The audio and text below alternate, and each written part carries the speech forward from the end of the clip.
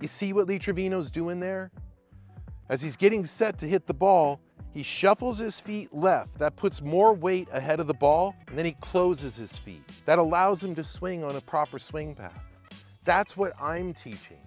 I set you in the setup position so that you don't have to have the same golf acumen as Lee Trevino, who's doing it as he's getting set. Instead, we preset the movements just like this, and that sets your body so that now you're in the same position to do what Lee Trevino does. And of course, Lee Trevino is a legend.